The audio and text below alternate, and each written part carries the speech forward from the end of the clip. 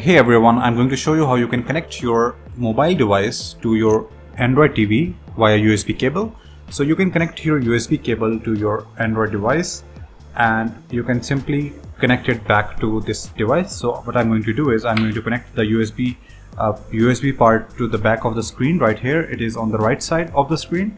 So I can connect it here and on the mobile side I can connect it with my mobile. So let me connect it. And now on the mobile side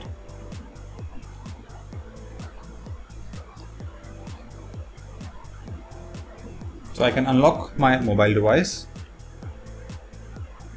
and I can go to options and it will ask me if I want to charge it or file transfer. So I can select file transfer and as soon as I select the file transfer, as you can see my TCL Android TV is scanning all the files and after scanning you can share your files through your mobile device to your TCL Android TV. So this is how you can connect your TCL Android TV with your mobile device. So I hope it was helpful. Thank you so much for watching.